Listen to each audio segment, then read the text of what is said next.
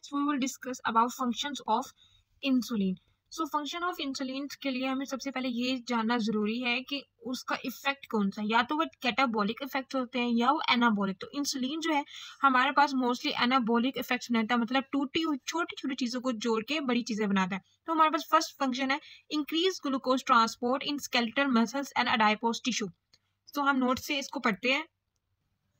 तो इंसुलिन हमारे पास ना एक पेप्टाइड हार्मोन्स होता है लाइक इसका मतलब है कि वो प्रोटीन्स होती हैं और जो प्रोटीन्स जो हारमोन होती हैं, वो डायरेक्टली जो है मेम्ब्रेन को क्रॉस नहीं करती, उनको क्या होते हैं ट्रांसपोर्टर्स जिसकी वजह से वो जाएँगी और जाके क्रॉस करेंगी। तो था increase glucose transport in skeletal muscles and adipose tissue first of all हमारे दिमाग में क्लिक होना जाना चाहिए कि जो है ग्लूकोज ट्रांसपोर्ट स्केल्टल मसल्स और डाइपोस टिश्यू है तो डाइपोस टिश्यू स्केल्टल मसल्स में पता था कि कौन सा ट्रांसपोर्ट होता है, कौन सा? ग्लूट फोर एक्सेप्ट और ग्लूट फोर के और ये कौन सा होता है? इंसुलिन डिपेंडेंट होता है।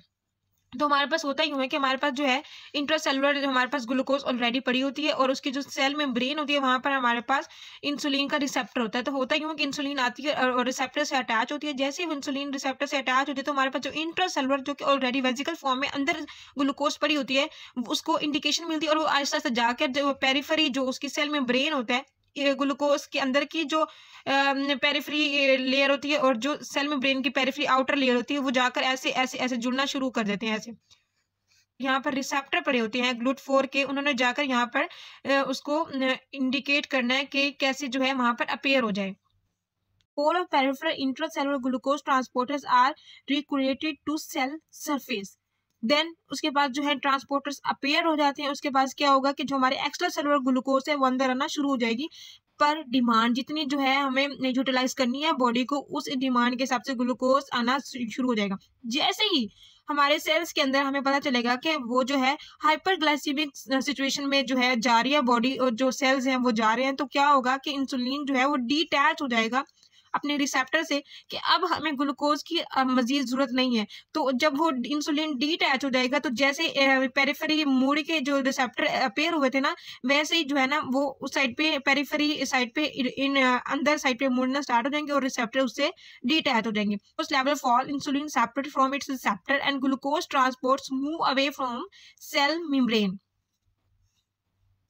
और इसका ये भी है कि हमारी बॉडी जितनी ज़्यादा फैटी होगी, उतनी ही इंसुलिन की ज़रूरत ज़्यादा होगी। इसी तरह इसका मतलब ये है कि जो लोग ओबीज होते हैं, उनमें डाइपोस टिश्यू ज़्यादा होते हैं, उनमें इंसुलिन की नीड ज़्यादा होती है।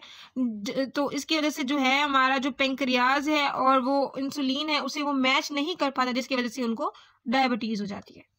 So hey first function is completed for so next we have function increase glycogen synthesis and storage ये मोस्टली इसी से कॉरिलेटेड है। इसके साथ जो है, हम एक और कवर कर लेंगे इंक्रीज प्रोटीन सेंसेस और मसल तो इसका फ़ंक्शन हम नोट से पढ़ते हैं कि होता यूँ है कि हमारे पास जो, हमें पता है कि जो है मसल्स में ग्लूट फोर जो स्ट्राइटिन मसल्स और ये होते हैं ग्लूट फोर ट्रांसपोर्टर से आती है ग्लूकोज एंटर होती है। तो जब ग्लूकोज एंटर होती है तो ग्लूकोज से आगे बननी होती है ग्लाइकोजिन और माइनो एसिड्स पड़ी होती है अंदर, उनसे बनी होती है प्रोटीन तो हमारे पास मोस्टली प्रोटीन और जो है ग्लाइकोजिन ये एक मेन प्रोडक्ट है जो कि एनाबोलिक इफ़ेक्ट ऑफ़ इंसुलिन से आता है means from amino acid protein बनेगी एंड फ्रॉम ग्लूकोज हमारे पास बनेगा glycogen so here we can discuss insulin dependent glucose uptake their GLUT4 transporters pass the glucose in the cell so that glycogen form from glucose and protein form from amino acid like both are anabolic anabolic effects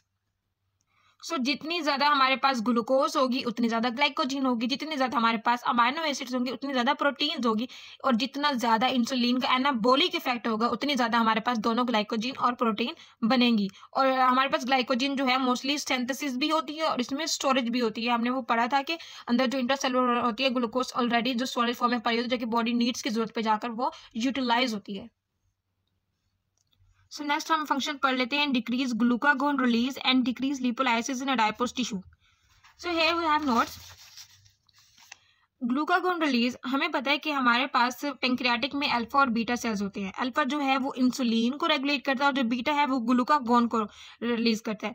होता यूँ है कि जो हमारे पास insulin और glucagon है वह टोटली ऑपोजिट होते हैं। अगर तो है इंसुलिन ज़्यादा तो ग्लूको ग्लूकागोन कम होगी, और अगर है ग्लूकागोन ज़्यादा तो इंसुलिन कम होगी।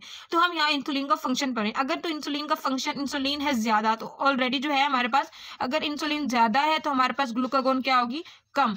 तो ये एक जो है इनडायरेक्टली प्रोपोर्शनल है, जिसकी वजह से जो है अक्सर ये एमसीक्यूज भी इंपॉर्टेंट होता है कि मीन हमें उसके डेप्थ में जाने की ज़रूरत नहीं है कि क्या जो है, कैसे एनाबॉलिक इफ़ेक्ट है जस्ट रिमेंबर इट कि अगर इंसुलिन ज़्यादा है तो ग्लूकागोन उतना ही जो है कम होगा, क्योंकि ये इनडायरेक्टली प्रोपोर्शनल है। इसी तरह जो है ये, इसका इफ़ेक्ट हुआ कि इंसुलिन का फ़ंक्शन है इंसुलिन ज़्यादा तो क्या है? Decrease glucagon release then we have decrease lipolysis in adipose tissue. Decrease lipolysis the function of the glucagon is promote lipolysis जो हमारे पास ग्लूकागोन होता है ना, वो जितना ग्लू ग्लूकागोन जो है, ज़्यादा होता है, उतनी लिपोलाइसिस ज़्यादा होती है। मीन्स के जो लिपिड्स की ब्रेक डाउन होती है, वो उतनी ही ज़्यादा होती है। तो इसी तरह जो अगर हमारे पास होगा लाइक और सपोज़ हमारे पास इंसुलिन का फ़ंक्शन है इंसुलिन हुई ज़्यादा तो हमारे पास इंसुलिन हुई ज़्यादा, उसके बाद हमारा ग्लूकागोन जो है, वो क्या होगा कम। जैसे ग्लूकागोन हमारे पास कम होगा तो इसका मतलब हमारे पास जो लिपल सॉरी सॉरी हमारे पास जो लिपोलाइसिस है, वो भी कम होगी। सो के glucagon directly proportion to lipolysis glucagon और लिपोलाइसिस दोनों बराबर चलते हैं। अगर ग्लूकागोन कम होगा तो लिपोलाइसिस कम होगी। और ग्लूकागोन हमारे पास कम क्यों था? क्योंकि हम इंसुलिन का फ़ंक्शन पढ़ रहे हैं। क्योंकि इंसुलिन ज़्यादा थी तो हमारे पास ग्लूकागोन पहले ही कम था। तो जब ग्लूकागोन कम हुआ तो उसने लिपोलाइसिस भी कम कर दी। Next we have function increase triglyceride synthesis जब फैटी एसिड और ग्लाइसरॉल मिलते हैं तो हमारे पास ट्राइग्लाइसराइड बनते हैं। तो हमारे पास फैटी एसिड जो है उनके जो as insulin is anabolic effect तो फैसे फैटी एसिड और ग्लाइसरोल के मिलने से ट्राइग्लाइसराइड्स की जो है सिंथेसिस ज़्यादा हो जाती है। तो हमारे पास यहाँ पर हम बायोकेमिस्ट में थोड़ा सा टेस्ट देख लेते हैं कि ट्राइग्लाइसराइड्स कैसे बनते हैं। तो लिपिड मेटाबॉलिज्म होती है मीन्स के इंसुलिन जब एनाबॉलिक इफ़ेक्ट करता है तो हमारे पास एंड रिज़ल्ट हमारे पास फैटी एसिड्स बचते हैं। और वो कहाँ से आते हैं? जब हमारे पास एसिटाइल सी ओ ए बनता है और वो मोस्टली क्या होता है? ग्लाई ग्लाइकोलाइसिस और हमें पता है कि इंसुलिन जो है ग्लूकोज को कम करता है मीन्स उसकी लाइसिस करता है। तो हमारे पास एंड रिज़ल्ट क्या बनता है? फैटी एसिड फैटी एसिड में हमारे पास हमने एक फैटी एसिड डाला, फिर सेकेंड डाला तो हमारे पास एंड रिज़ल्ट जो है ट्राइग्लाइसराइड्स बन जाते हैं। तो ये डायरेक्टली हम ये कह सकते हैं इंसुलिन जो है ट्राइग्लाइसराइड की सिंथेसिस को इंक्रीज करता है इन लिपिड मेटाबॉलिज्म तो आप सब्सक्राइब कीजिएगा लाइक कीजिएगा शेयर कीजिएगा। नेक्स्ट मिलते हैं। See you soon.